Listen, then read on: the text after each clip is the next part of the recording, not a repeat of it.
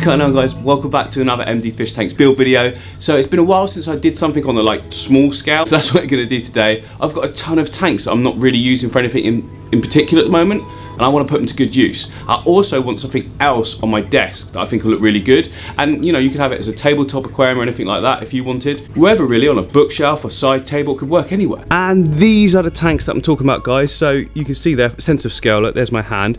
It's just being used as plant storage. Bit of a waste in my opinion. I could do something else with them. This one's a little bit too large for what I'm going for, but this one I think could be perfect. I'll put the dimensions and that up shortly. But what I want to do is put it on my desk. So this is the tank in the middle of the studio and this side look is my desk. Now this is obviously where I do all my editing and very recently I put this little lamp here. It's like an Ikea cheap little lamp LED thing and I don't know why I put it there because I didn't need a tank on, the, on this desk but then I thought well there's a space there so I might as well put one in. So that's where I want to put it. Just let me get that tank cleaned out and we can make a start.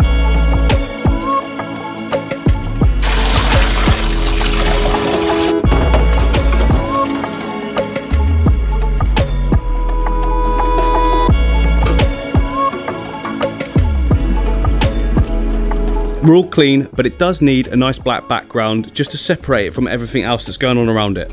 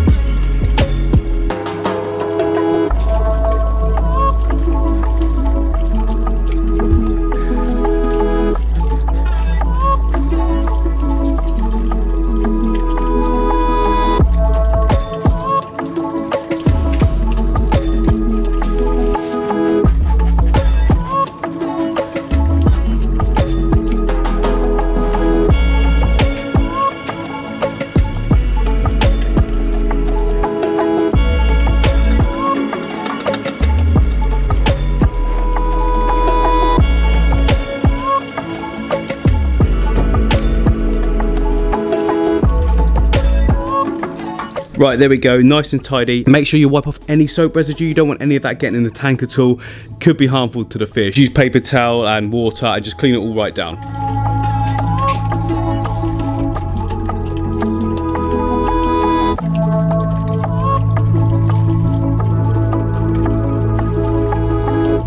So we've got a tank, we've got a light, we need a little substrate system on this one. I don't want to pack it for the plants, but you know, I want to have some nutrients underneath the sand that I'm going to be placing in. And to do that, I'm going to use some soil from an area of land behind my garden.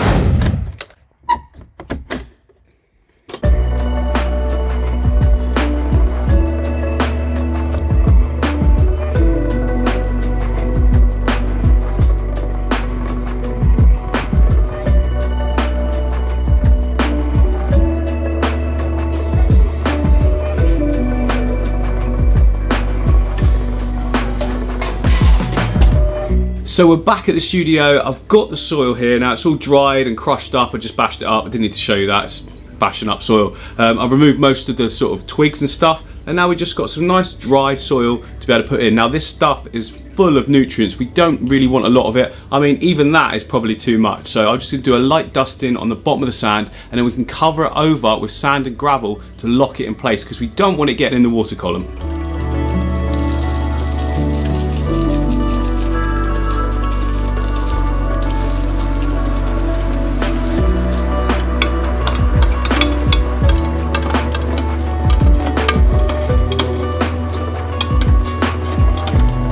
Honestly, guys, I know that doesn't look like a lot, but you don't need more than that. Trust me, it's just a little bit of nutrients that are going to be locked down for the roots to get into.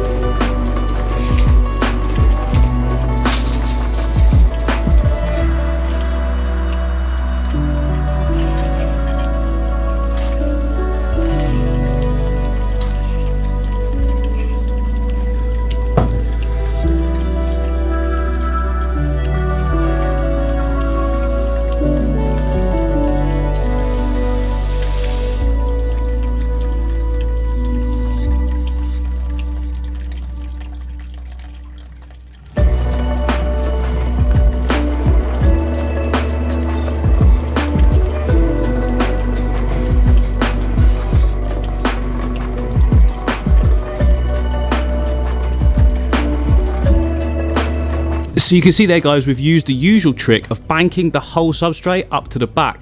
Gives it a better angle. And that angle makes it look deeper than it actually is. Because if I was down here now and it was flat then the it would look like it would end there you know? So it'd be really shallow. So we get in that whole extra inch of section. I don't know but anyway it just looks deeper all right like this. You can see the angle there from the side and that's going to help with the depth. So next up we need to put in our hardscape and for that I'm just going to go for a few little cool pebbles I've got. This tank's going to be more about the emergent plants and the fish swimming around in it so I'm going to keep it nice and simple with just a few crypts and a few pebbles.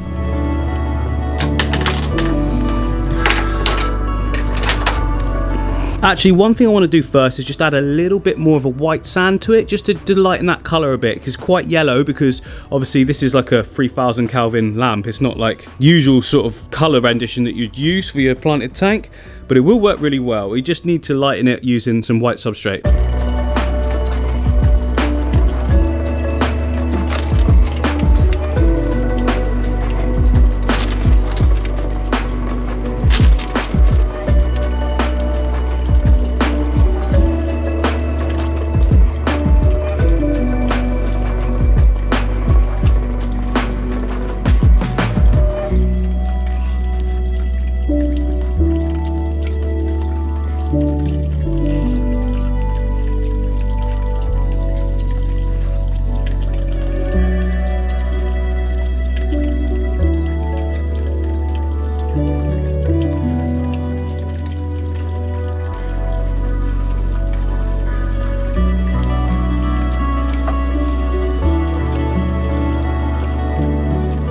Okay, there we go, that looks cool. So you can see I took out that littler one behind it, just wasn't, it was too flat. And all of a sudden you just stick one that sticks out from the rest, and to me that sort of makes it work. Again, there's not a lot going on at this top area because obviously that's where the plants are going to be coming in, so we want to just leave space for that. But you can see from the top view, look, I've left gaps between each rock to be able to put some plants into as well, but we don't want too many, remember.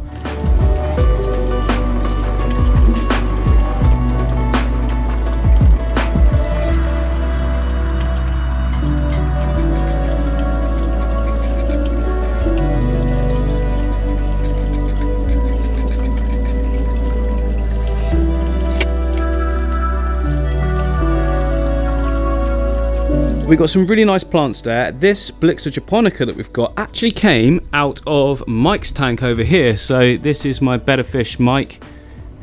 he thinks I'm going to feed him now, but yeah, put my hands in, see there's getting quite a lot there growing, so I just plucked a couple of bits off. The stuff spread so fast, it was only two tiny sprigs when I first actually planted that in there, so yeah, took some from there, which is always good to be able to do. And these other three plants are from my plant storage area, let me show you.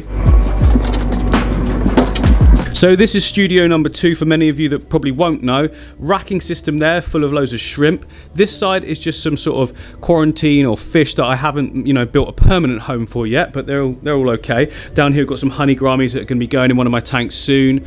Um, this one's got some lampeyes, lampeye killifish, really cool. But this tends to be the place where I put like you know, just pots of different plants I buy when I see out in the shops or whatever. Just stick them in here because I don't know what I want to do with them. So those crypts were in this one and it actually started growing into the substrate as well, the aqua soil. So they're doing really well and they're going to transfer over to that other tank really nicely. I'm also thinking about this stuff at the back here as well, possibly. See how it goes. That is called Juncus repens, which I've never heard of before in my life. But that's what I like, what I like to do. If I'm out and about in the shops and I see a plant that I don't know or I've never seen before, I just buy it, bring it back here and just stick it down into one of these tanks. And we can use it at a later date then. Oh yeah, and exclusive. This is currently an experiment. I'm trying to see if this changes the parameters to waters, but it's something cool coming up soon.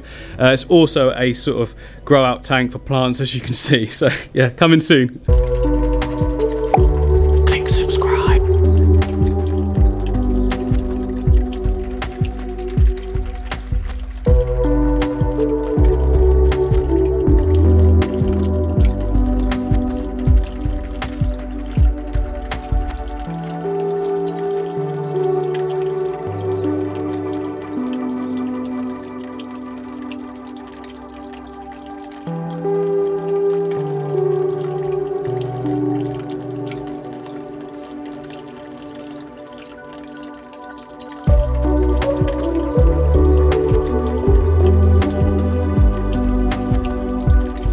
That's it, crazy simple, not a huge amount going on, but that's what I want. It's gonna grow nice and slowly, look really nice as well. The background plants will lift up a little more than that, and the Blixa japonica will sort of spread out as well. I mean, I don't wanna be doing tons of maintenance with this tank, so those plants are gonna allow that. I suppose I might as well just put some water in it now. Remember, when putting water in, take it slow. We don't wanna stir all that up, especially since we've got that soil underneath. We definitely don't want that in the water column, so just put some paper towel down, fill it up nice and slowly with a jug in your hand.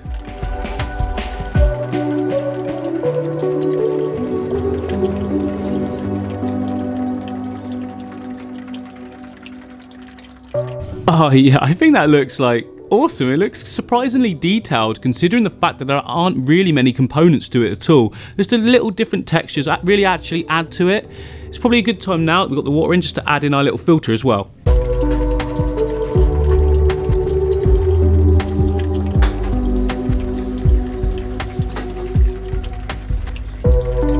There we go, just a tiny little nano filter. Now, I know loads you're going to be asking where I got this from, so I'll leave a link in the description for you. Go check it out if you want to get one. It might not be the exact same one, but I'll try and find as close to it as I can. They're great little filters. I mean, they're so easy just to pop out, clean out the little bit of media in there and put back in again they really do work a treat as well. I mean, don't expect them to work on bigger tanks because they just push a little bit of water around. They're not really offering any huge amount of biological filtration, but they are adding a little bit of mechanical filtration, just polishing that water a little bit for you and just keeping that flow moving around the tank, stops waste collecting, that sort of thing. And you know, maybe you just wanted a nice little fish tank, and if you did, you can stop right there, stick some floating plants in it, a couple of little fish, awesome. But I want to go one step further this one and have all those plants sort of coming out the top as well. And to do that, I need to do something that I've done recently in one of my bigger tanks on a smaller scale. So this is the tank I'm talking about. This is my brand new amp, well not brand new, it's a couple of weeks old now, maybe three weeks actually. So the idea being there's going to be loads of tetras, plecos, that kind of thing, loads of really cool fish, cories, all of that. So I was going for like a nice river system or river theme. So we've got a power head blowing loads of water nice and quickly. But what I'm talking about for the riparium is these plants we've got at the top here. So this is peace lily. And what I've basically done, it's going to be really hard to see, but if you look right there, you can see that there's some wire wrapped around and the roots are going into the water. You can probably see it around here from the Monstera plant. There we go, so it's just in the water, just the roots and a little bit the plant. It's actually all right to have a little bit in the, in the water as well. And they're just growing really really well. Not only do they look cool they're also pulling nitrates out of the water because they're using it as food to grow. So it's a win-win really. And that's what I want to do in the riparium but not with these plants. I want to try some smaller plants. And these are the plants that I want to use well not that one. That one's just staying put but I've got a smaller version of the palms there look see? And I also saw this really nice fern. Basically I want to try these out in that tiny little aquarium that we've got there. And if it works, I can do it on a bigger scale with bigger plants. I mean, maybe that one will work. I don't even know yet. So it's just a bit of experimenting, seeing what plants do work with this new method and what don't. I just think it's a really cool way of being able to bring sort of a, a huge extra dynamic to your whole tank without having to sort of put a ton of effort in, if you like, because it's just hanging on the side. But as I did before, the first thing I'm going to need to do is take them out of the pots and wash all the soil off, both of them. And then that way we've just got the roots left and that's what can go in the water. Again, we don't want organic matter floating around the water column, it will just cause algae.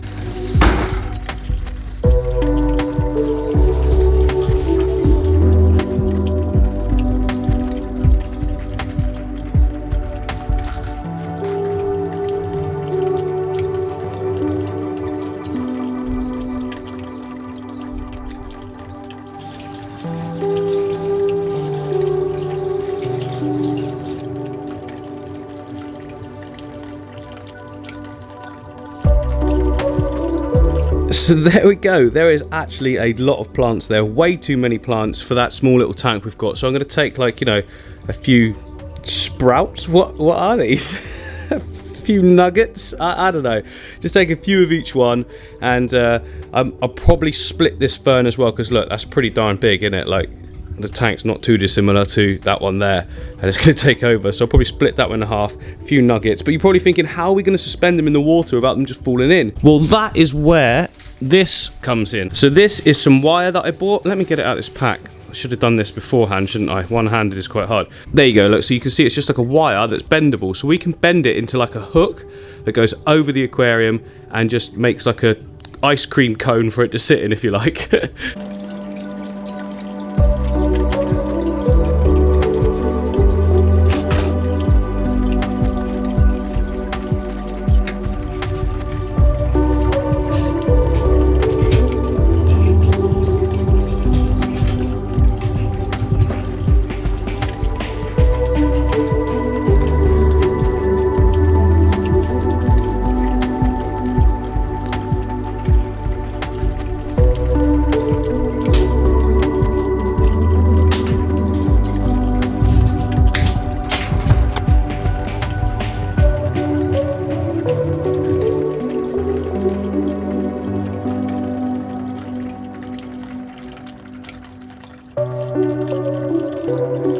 yeah, there we go. That worked a treat. It's kind of hard to see because of all the greenery behind it. Hang on, let me put a white background on it. I can use the front of this. This is a homemade aquarium by the, well, the stand is, look. If I open it up, there we go, built it myself. A couple of magnets at the top, holds it all in place, and just a generic Opti white tank. So I can use that to put behind it just to highlight at the moment, you know, the difference between the two. I think that'd be a good way of sort of setting it all out and showing it as well.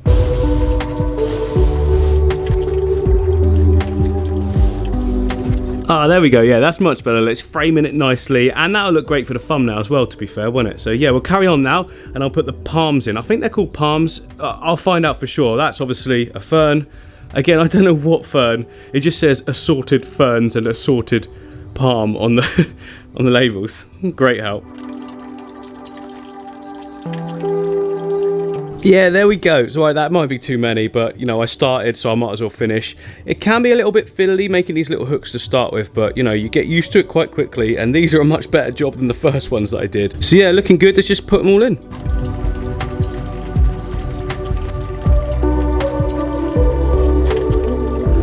Okay, I like that, but I think it's one palm too much. I want to do, I think I'm going to do palm in the middle and then two ferns either side.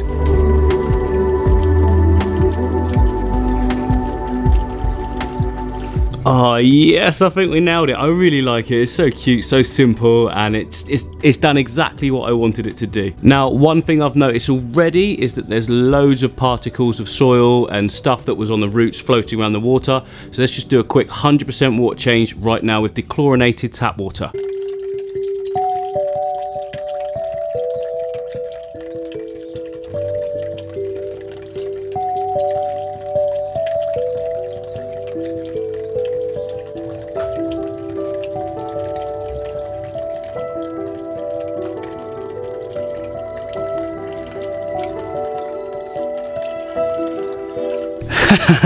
So yeah, that's looking great. I think it's now time to put our fish in, and for that, I need to take you to the other side. And this one here, this tank is my sort of uh, shallow pond if you like but basically I've been using it for growing guppies. Now there's quite a few adults in there now real nice male Endler guppies. Um, we've got different varieties. Where's my favorite one? There's my favorite one. Look at that beauty. I love that. I think it's called a snake skin or something like that Anyway, I want to try and get more of him, hopefully anyway. But there's quite a few babies in here, but the survival rate of the babies isn't as high as I want it to be. So I'm going to use that new tank to put all the babies in. So for instance, there's one down there. Hopefully you're not getting just reflections, but yeah, see, there's a couple of them, a couple of babies right there. Let's move them across, ensure their survival, because, you know, the males will pick off the, well, I suppose the females as well. The, the adults will pick off the babies, and uh, there's a lot of cover in here, but I'm noticing that some, some of them are getting eaten. So let's try and give them the best chance of success. I think at some point I want to put a lot of them into this aquarium here. This is my Asian fish aquarium. Guppies are Asian. Um, I think it'd just be really cool to have a huge load of Endler guppies just, just swimming around. I think that look great.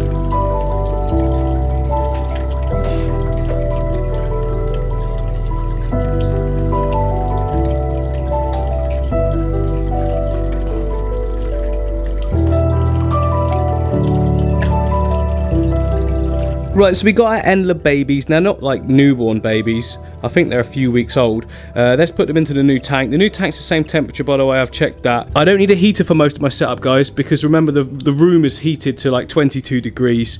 Uh, apart from for the discus aquarium here, which is actually set to 28 degrees C. So that needs a heater, obviously. There's two heaters built built into the filters. A bit like this one here as well. Actually, I made this one 25 degrees for the uh, for the neon tetras, and I've got a built-in inline sort of heater thing. So it's currently saying 22 because I've just done a water change on it, but that'll warm up shortly. But anyway, let's get our babies into their new setup.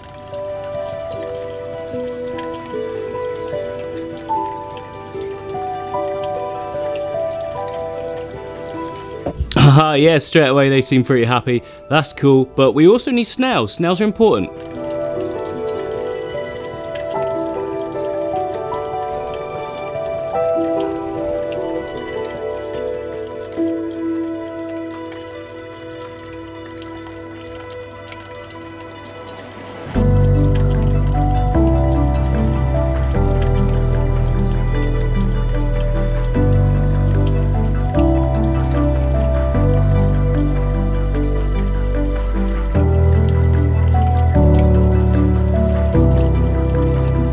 So even though I put some sponge in that filter from another setup, technically seeding it, it's not very much at all. So I'm going to be adding some beneficial bacteria straight away. And tomorrow I'll probably do a 50% water change, more, more beneficial bacteria going back in, and just keep doing that for a full week. That's the way you can do a instantly cycled, if you like, tank and be able to put fish in straight away.